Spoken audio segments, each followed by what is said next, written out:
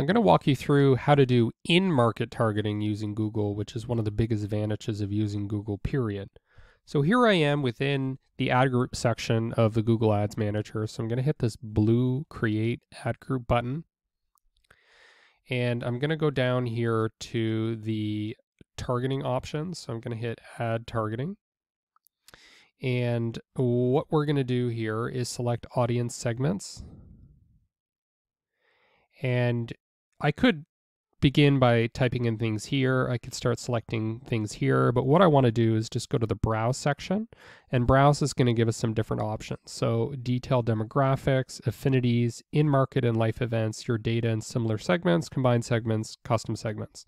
The one we're interested in is the in-market and life events, which is what they're actively researching or planning. So let's let's click in there and we can see here that there are various in-market segments. So people that are in market for apparel and accessories, arts and crafts, autos and vehicles, baby and children products, Beauty and personal care, business and industrial products will be very useful from a business to business perspective.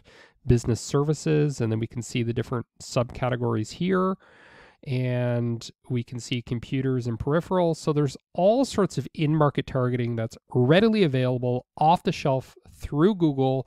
We don't have to go and pay a company for intent data. We can just select this. So for example, with software, we could check off accounting software and target people that are in market for that. Now, if we understand the customer journey appropriately, it really begins with some sort of trigger event that happens, and uh, that trigger event is going to put people in market. So, uh, similar to in market, what we could do is we could target people based on life events. So, let, let's try that. So I'm going to close the in market segments and look at life events. So it could be business creation. So, for example, if they recently started a business, uh, they may be interested in hiring a lawyer, they may be interested in uh, contract software, they might be interested in uh, buying office space, something like that, college graduation. These people might be interested in, in getting jobs, job changes, marriage, moving, purchasing a home, retirement, uh, perhaps in special need of a certain type of financial planner or uh, any sort of change in their life that might trigger some sort of purchase decision.